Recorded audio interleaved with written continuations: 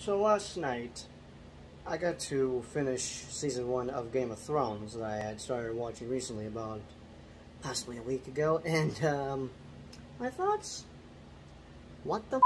Hello, welcome back to another review on the channel. So, as you read the title, yeah, I, I've I am I'm a new comer. Have I have I is that the right word? Zilda. I'm basically a new. I don't. I can't find the right word. Basically, uh, I'm new to Game of Thrones because I did not check it out when it came out for obvious reasons, because uh, it came out in 2011. How old would I be by then? Oh, let's see. If I remember correctly.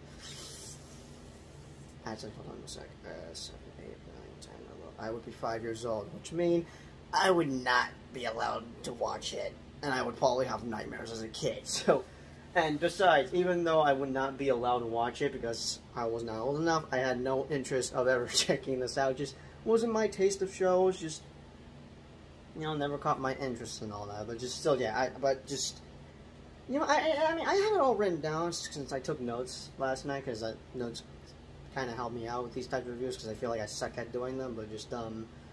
So let's talk about my thoughts with Game of Thrones since I just pretty much have watched it for the first time. Alright, I have to interrupt the review a little bit. Uh, this is something I forgot to mention. So, uh, before I continue watching the rest of the series, here's what I had tweeted out for my thoughts on, I guess, the first two episodes. I also made a TikTok about it, but for here's my uh, tweet that I made on Twitter about my thoughts with the first two episodes of Game of Thrones, and here's the TikTok about my thoughts for the first two episodes.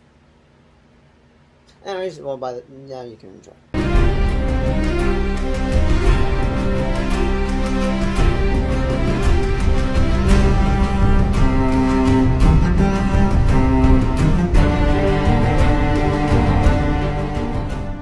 Yeah, I have heard about this series a while ago. I've been aware about it being super popular, and like I said earlier, I had no interest in checking it out, whether I was old enough to check it out or not, which wouldn't matter because I would have been five years old, which I mentioned earlier. But still, though, just just never caught my taste. It just wasn't the type of show I was interested in. That's just all I know. What I do know is how the fans were just pissed with how it ended, and sadly, I kind of know how it ended because I kind of saw a little bits of spoilers because it just you know there's just spoilers all over YouTube and I'm like okay let's let's check this out because I didn't give a crap about it.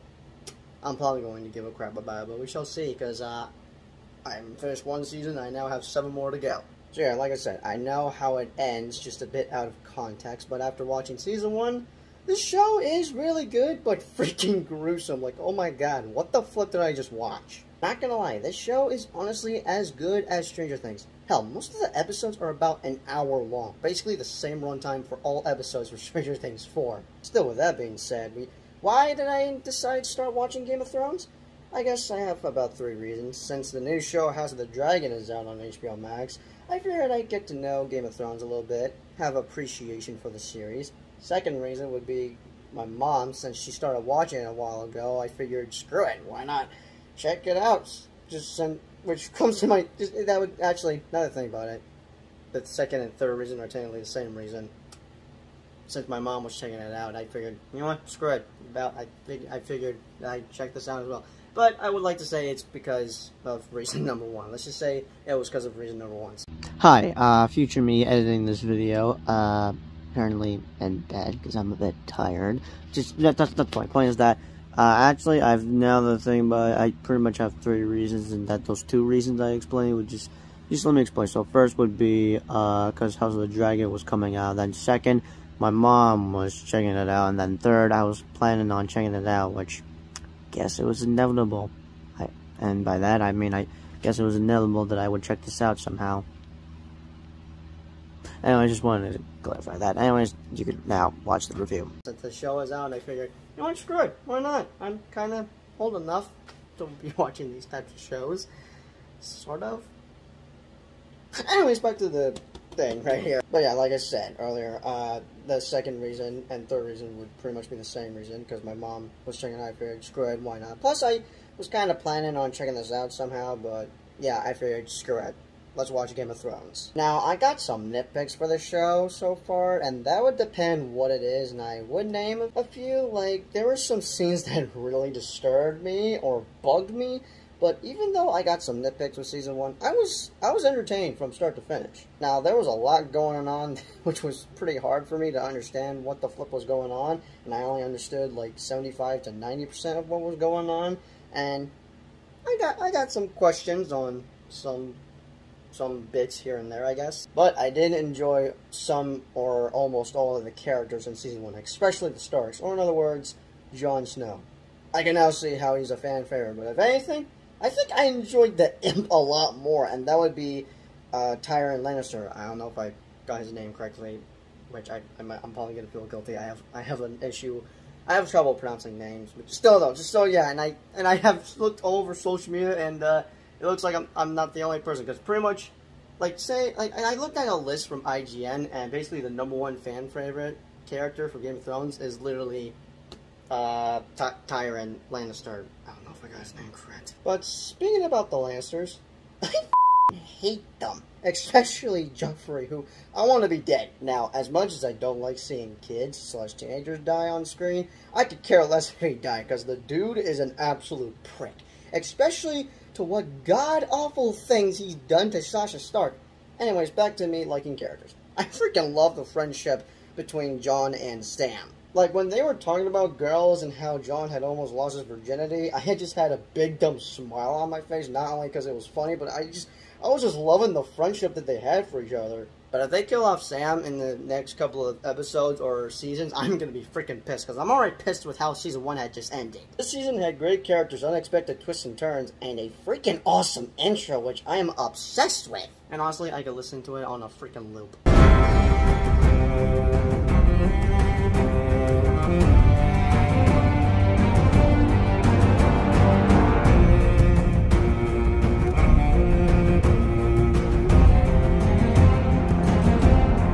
With that being said, season one was a pretty good season. Even though it was gruesome, I was entertained, and I'm intrigued to see what happens next in season two. But for my rating for season one of Game of Thrones, it's gonna be an eight out of ten. I could I can now see how the show was pretty popular back then and why everyone's obsessed with it. Because literally, like I like I mean it when I say this, it is like Game of Thrones is just one of those shows, like similar to Stranger Things. Like basically, what Stranger Things and Game of Thrones have in common, and that is best TV shows of history of TV shows. Okay, time to talk some spoilers. So from what my mom has told me, there's blood and death everywhere, siblings banging each other, and uh, lots of messed up stuff she has told me. Now, not gonna lie, even though it's gruesome but still good, it's a pretty messed up show, cause holy sh**.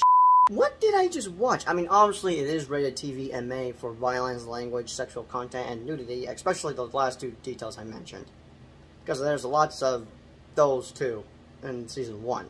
I was surprised to see Jaime Lannister just bang up his own sister, which, what the fuck, by the way. But what made me shocked as hell was when he pushed off Bran off the freaking tower, and I was scared to death that the kid died, which thank God he didn't, but sadly he can't walk. But no joke, literally, as I was on my bed, I see him just, I, I he, as soon as he pushes him, I'm like, oh no! Oh my god! Also, not gonna lie, I'm not too much of a fan of King Robert, because he's kind of a jerk, but at least he wasn't a bad guy. But this show does, does do a great job on who you should like and dislike. And I know that I hate Joffrey for a ton of reasons, because that kid needs to die for trying to kill Arya, I don't know if I got her name correctly, while swinging the sword, being crowned gang, killing Ned Stark when Sasha asked for mercy and made her look at her dead father's head.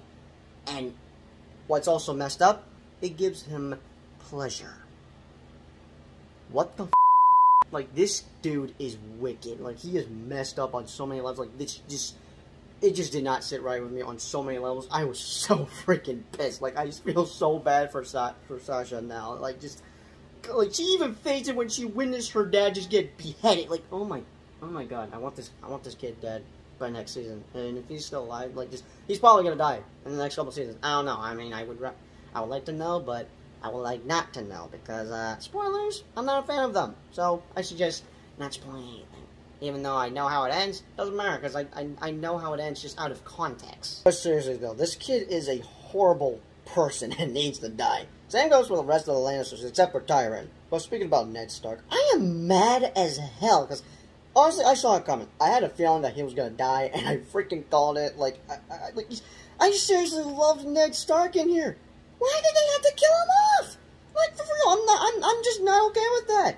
Now, I'll be honest, I was kind of underwhelmed with how Season 1 ended, because it left off in a cliffhanger. Another thing I saw coming was how it was going to end exactly, and that was when Emily Clarke's character would not be burnt but naked, holding three baby dragons, and boom, that's the end of Season 1. And it would make sense, because I think I saw a clip of that some. I, I don't know, I don't know, like, just, I feel, I, I feel like I've seen some clips on some of these seasons, because like I said, I didn't care much about checking this out, so I didn't care if I, like, get spoiled for this because I wasn't planning on checking it out.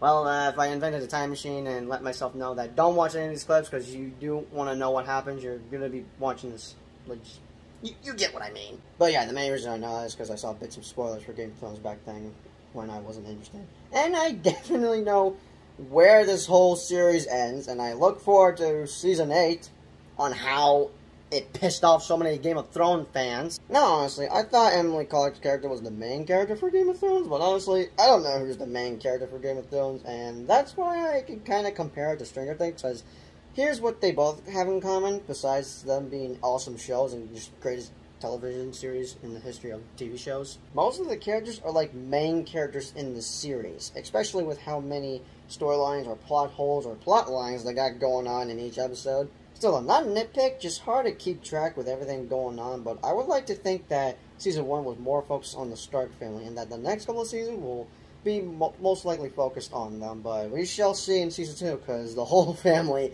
is sadly split up, and I'm not okay with that. But that being said, those are just my thoughts with Season 1 of Game of Thrones. Um, yeah, uh, it's a pretty messed up show, but also gruesome, but it's still, it's still good. I can now see why why many people love it so much, but my god, it's legit super messed up. So I look forward to season two, in which I'm probably gonna have to pause watching it at the moment. Now, I would if I wanted to watch it right away, I probably would be done with the entire series between 20, not 20. I want let me rephrase that between probably September and October. But still, I think it's best if I just take a break right now after just uh, just a lot to process. But I'm gonna be watching season two. Let's just hope it doesn't take a long time because I would like to see what happens next, but I gotta give myself a break, so I'll probably give myself a week, actually a week or two, just, I'll probably give myself two weeks of a break, unless I cave in, but we shall see. But anyway, so yeah, I guess I would do a series review, which I'll probably do, but screw it, I'm just gonna review each season, since I finished one, now I gotta review seven more to go.